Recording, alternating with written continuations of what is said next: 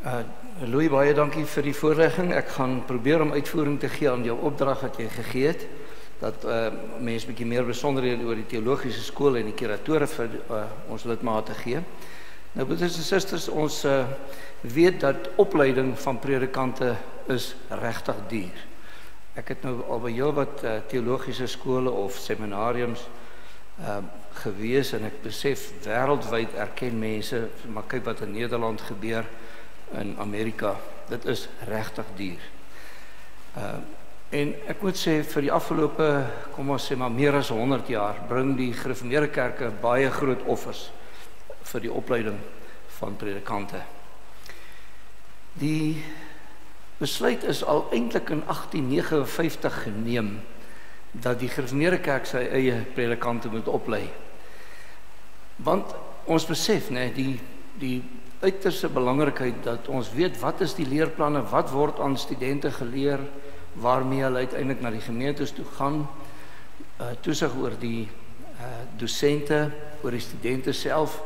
So dis werk wat ons vir onsself uitgemaak het wat die Gereformeerde Kerke self moet doen. Soos ons sê alreeds in 1869 is daar besluit om 'n teologiese skool te stig en terloops net vinnig, jy weet dat die universiteit wat tans bekend staan nou as Noordwes Universiteit het daaruit voortgevloei.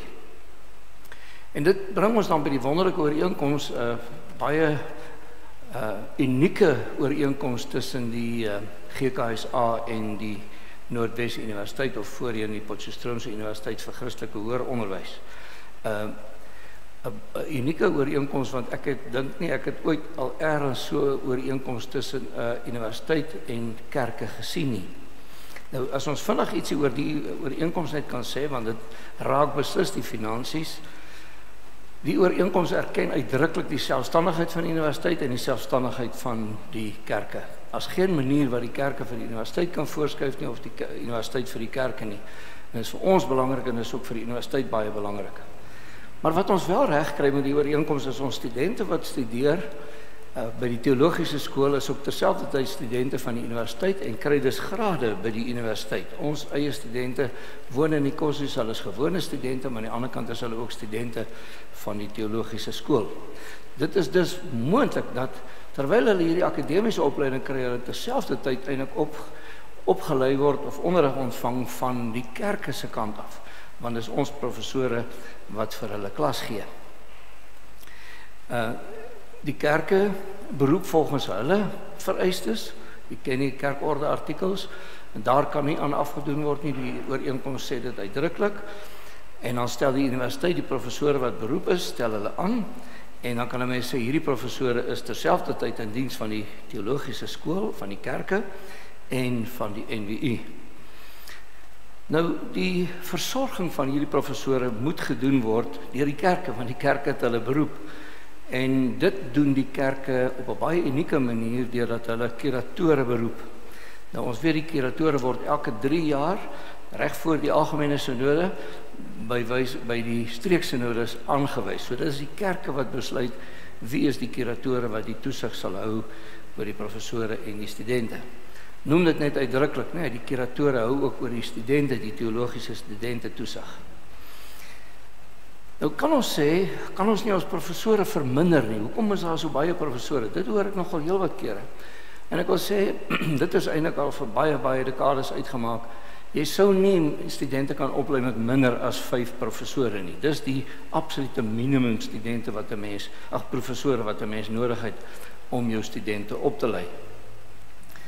Nou kom ons kyk dan wat is die situasie tans uh rondom ons professore. Ons het 3 professore wat tans by die NWU kampusbestuur betrokke is. Ons wil dadelik sê hierdie professore uh die versorging van die GKSA kos ons nie 'n sent nie, die universiteit doen dit self. Ek noem hulle, dit is prof van Esburg, waarnemende kampusrektor, professor Tsotsa die en wie is 'n uh, visierektor rektor onderrig leer en dan professor Fik die uh, Noordwes Universiteit se studente dekaan. Nou, ons kan baie lank daaroor praat, maar ek wil net daarom dit sê dink in hierdie groot veranderende tyd as ons nie die mense daar gehad het nie, kan jy vir jouself indink hoe sou die dinge verloop het. Ons baie dankbaar vir die waardevolle bydrae wat hulle tans by die NWU lewer, ook in die standhouding van die verhouding, maar ook omdat die universiteit ons ook baie noue bande het en 'n lang geskiedenis saam met die universiteit het. Maar dan ons beroepe professore waarvan die GKSA 50% van die koste dra. Nou sal jy sien dis 10 professore, maar ons dra 50% van hierdie koste van die professore. Dit wil sê eintlik onderhou ons aan 5 professore. Prof Naas van der Merwe by Ferreira althans by misiologie, uh Henny Goede by Nuwe Testament, uh, Prof. Gert Jordan Nuwe Testament, Ferdi Kreer praktiese teologie en Prof. Paul Kreer by Ou Testament, uh Frans van Miller by dogma kerk en dogma geskiedenis, Johannes Smit by kerkreg, Prof. Stoker by etiek en apologetiek en Prof. Chris van der Walt by Ou Testament en dan Prof. Sarah van der Walt by dogmatiek. So dis die 10 professore waarvan ons 50% dra, dit wil sê 5 professore. Jy kan nou sien al klaar die voordeel dat ons saam met die universiteit is, want jy kan dus hierdie volle veld dek. Nou kom ons kyk na die professore wat die fakulteit dan dis dan beroepe professore wat die fakulteit 100% vergoed. Daar het ons vir prof Gert Breed, hy gee praktiese teologie, professor Risimati Obejane, hy gee Grieks en prof uh uh, Moretsi, hy gee Semitiese tale en Ou Testament. En dan Prof Frans van Viljoen wat Nuwe Testament gee. Nou sal jy sien, dis mense wat die kerke wat uit die kerke uitkom, maar wat die universiteit aangestel het omdat hulle die behoefte het en natuurlik dan die kwaliteit onderrig kan kan bied van weer die professore se opleiding. En dit is mense wat die gereformeerde kerke niks kos nie. 100% deur die universiteit vergoed. Nou wil ek net dadelik by sê, die universiteit het nog meer professore wat op 'n ander manier uh aanstel nadat hy oorleg gepleeg het of in oorleg dan of na oorleg eintlik beter gesê met die kuratore. Kom ons kyk net vinnig na die ondersteuningspersoneel wat ek dink Louis ook gehad het dat ek wel moet noem.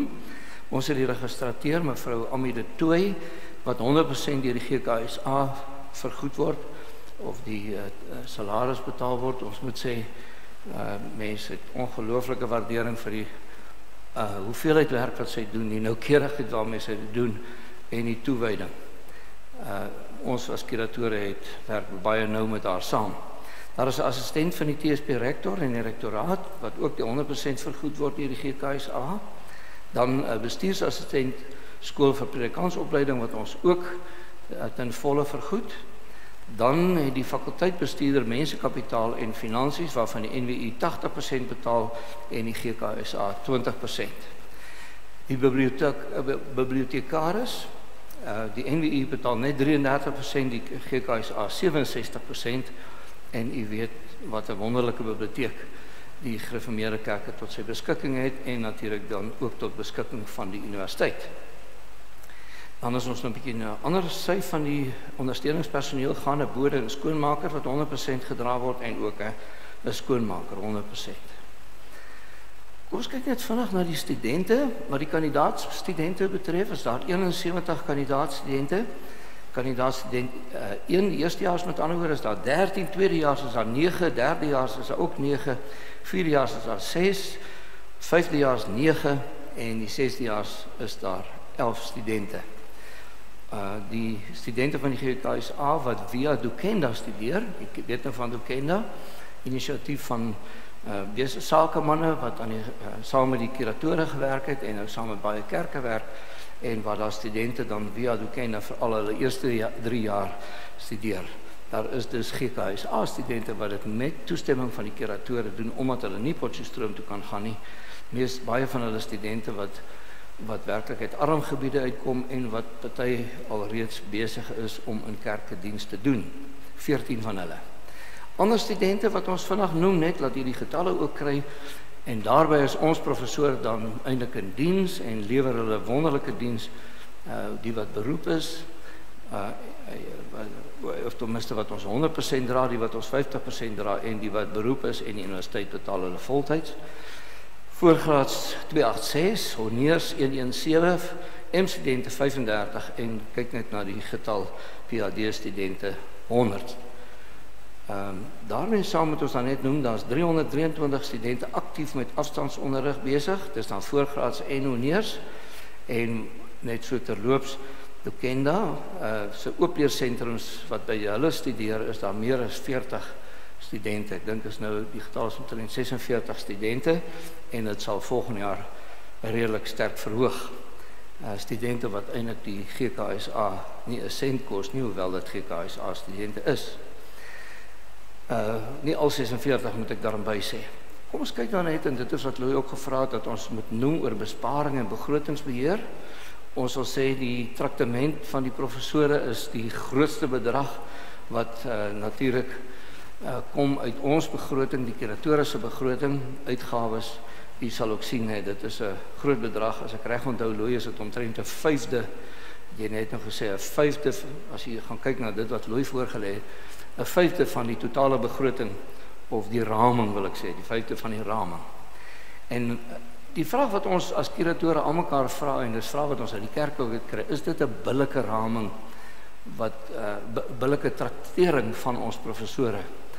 En ek is nie in my gemoed uh, regtig gerus daaroor dat ons ons professore reg trakteer nie, hoewel dit die kerk baie baie geld kos. As ek gaan vergelyk, elke keer as daar 'n professor beroep word, is dit werklik waar gespook om finansiëel die professor daar gehuisves te kry en dit met al die voordele wat predikante het en ons professore nie het nie, is dit werklik waar 'n groot probleem baie keer vir professore. Ek wil amper sê elke keer vir 'n professor wat beroep word en daar bevestig word teenoor wat hy getrakteer is. Ons uh, werk daaraan, ons probeer ook gemeentes het al voorstelle gemaak, maar dis regtig nie maklik nie. U sal ook weet om nou te vra ons met dit nog verhoog sou by die kerke 'n baie slegte impak hê. Ons sê net eh, die ongeluk is met traktemente is en dit weet elke gemeente jy kan niks daaraan doen nie. Kuratore kan niks daaraan doen nie. Jy dit is 'n vaste saak en jy kan nie sê ons gaan nie die traktering verhoog sê nou maar elke jaar met 'n sekere persentasie nie. Kom ons kyk 'n bietjie nader na die reis en verblyfkoste en dan wil ek veral praat oor die kuratore se koste. Dit is 'n baie groot deel van die kuratore se uitgawes hierdie reiskoste. Uh die kuratore vergader twee keer per jaar uh hier in Junie maand en dan weer in November maand en al hoe ons agtergekom het ons wel sou kan bespaar want dit gaan nou in 'n groot mate oor reis en verblyf nê. Nee. Daar's mense wat van ver af kom uit die Kaap uit kom uit uit uh oos uh, uit Mpumalanga uit uh die noorde uit uh en uit Namibië uit en elke keer is dit 'n geweldige bedrag. Ek wil nie eers die bedrag noem nie, u sal dit kry by die besonderhede wat wat op die internet gaan kom. En al wat ons gedink het wat ons wel kan doen as kuratore is dat ons kyk na 'n um, ander manier van vergader. Ons is dankbaar om te sê dat Dokenda vir sy uitsendings uh of die universiteit se uitsendings dan eintlik 'n ateljee opgerig het in die teologiese skool wat nog aan Dokenda behoort, maar wat die uh, die uh uh universiteit of ten minste die teologiese skool kan gebruik. En nou wil ons dit ook gebruik vir 'n vergadering 'n kuratore vergadering. Ons gaan nou net ek wil nie sê 'n skynvergadering want ons gaan wel besluite neem maar ons gaan kyk of ons daarin geslaag om op dië manier sonder 'n oog tot oog vergadering te kan vergadering en vergader. En as ons dit kan regkry, dan sou ons dalk van ons vergaderings of die twee vergaderings of net een gesig tot gesig sal doen of albei as ons dit goed gereg kry dat 'n mens daai geweldige koste spaar. Die kostes by die studente, dit is ook 'n groot deel van kostes wat die GKSA moet dra. Die uh, kurator hou baie streng toesig oor hoe hierdie geld gaan en ons werk ook baie nou saam met uh, met Johan Kutse van die administratiewe bureau om te sorg dat ons binne die begroting bly, maar mense sou ook nie ons studente kan arm laat of laat swaar kry finansiëel swaar kry. Uh gebrek lê wil ek eerder sê nie. Daar word egter baie goed toesig gehou dat die geld goed gespandeer word. Ons wil ook sê die wonderlike is wat ons aan Dokena afbeleef dat sy studente eintlik die GKSA op hierdie stadium nie 'n sent geld kos nie en ons is baie dankbaar daaroor. Dan soort wat die begroting betref, Louis, kan ek maar aansluitend by wat jy gesê het sê die uh, ons probeer ook wel insette by die begroting te lewer as kuratore en te sê waar mense kan help en ons het ook 'n verantwoordelikheid om streng toesig te hou oor die begroting. Ek sê baie dankie broeders en susters En ek gaan nou vra vir Dominee Karel Jansen dat hy 'n uh, voorregging sal doen. Hy sal dit aankondig die titel. Baie dankie.